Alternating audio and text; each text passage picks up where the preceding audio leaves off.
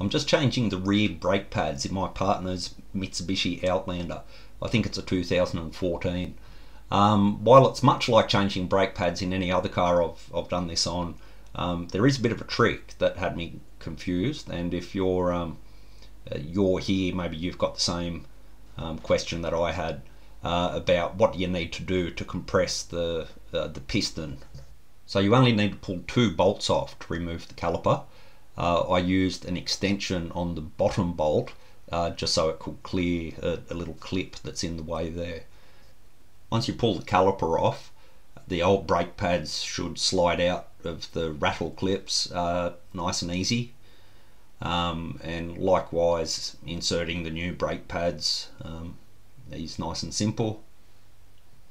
The pad with the wear tab, the little spring that makes the noise when the brake pads are nearly worn out, goes on the inside, or at least that's what I did.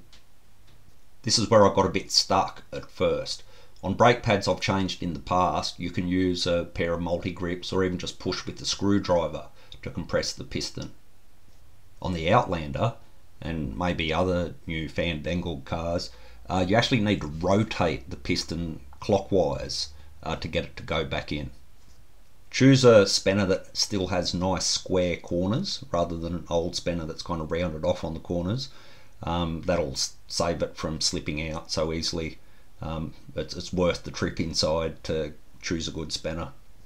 You'll have to wind that piston all the way in in order to be able to get the caliper back on.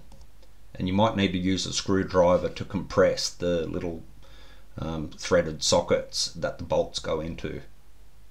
And with that, the job's pretty much done. Uh, just tighten up the bolts, put the wheel back on, and don't forget to pump the brake pedal a few times just to repressurize that piston.